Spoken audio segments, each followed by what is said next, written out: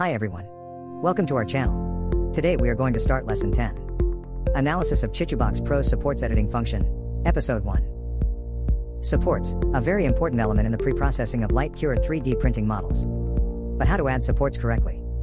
How to set supports parameters? How to add it quickly? Most of the time we have to add a lot of supports to ensure the success of the model printing, but it may bring us more trouble with post-processing.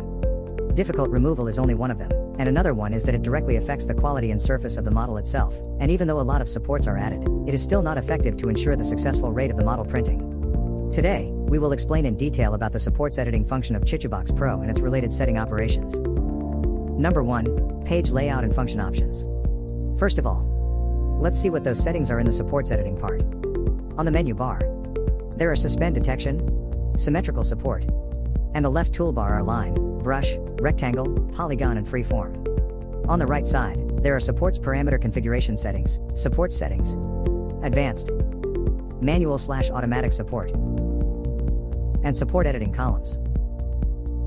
At the bottom of the window is the supports type panel, which provides nine types of supports, default, vertical, upright, connection, two points connected, small pillar, branch, contour, and tree-like.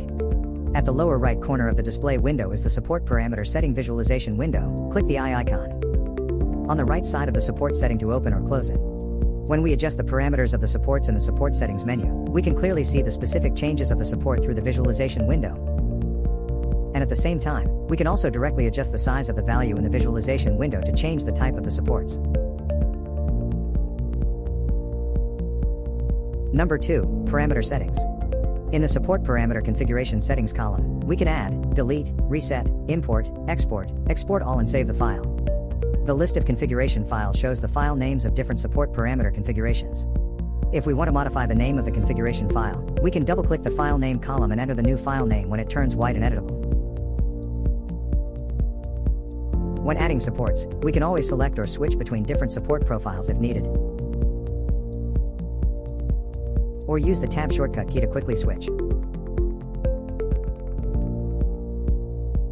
In addition, there are three default parameters, heavy, middle, and light, can be modified and saved, but the profiles do not support renaming and deleting.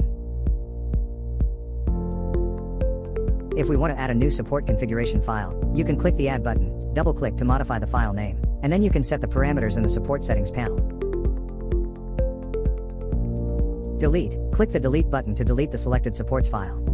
Reset, click the reset button, the system will reset all the parameter values of the current support profile to the initial state. Import, if you need to import a documented configuration file, just click the import button, select the file in the pop-up window, and then click open to import the file.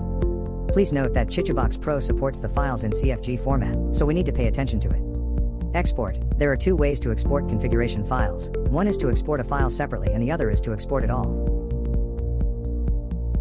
Export All button will help you save all the support configuration files together. And when you open this file, you can see there are multiple support configuration files in the file list.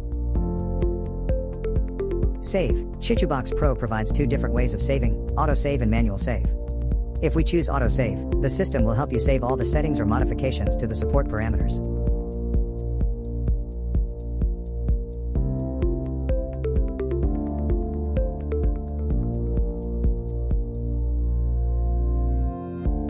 If we choose manual save, you'll need to manually click the save button when you have adjusted the parameters.